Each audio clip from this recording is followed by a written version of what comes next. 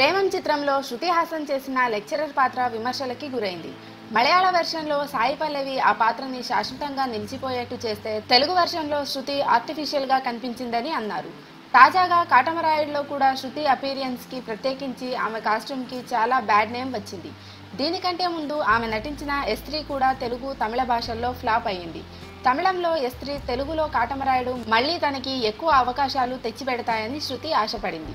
కానీ ఈ చిత్రాలు రెండు ఫ్లాప్ అవడంతో ఆమెకిప్పుడు దక్షిణాదిలో చెప్పుకోదగ్గ ఆఫర్లు లేవు. పైగా ఆమె లుక్పై వస్తున్న విమర్శలతో కొత్తగా ఆమెని సంప్రదించడానికి కూడా ఎవరు ఇష్టపడడం లేదు.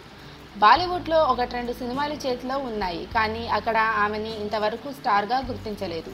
ఆమె ఓ విదేశీయుడితో ప్రేమలో పడిందని అతడితోనే ఎక్కువ సమయం ఉంటోందని కెరియర్ని కూడా లెక్క చేయడం లేదని రూమర్లు వినిపిస్తున్న నేపథ్యంలో శృతి హాసన్ త్వరలోనే సినిమాలకి సెలవు చెప్పినా ఆశ్చర్యం లేదని సినీ వర్గాల వారు అంటున్నారు.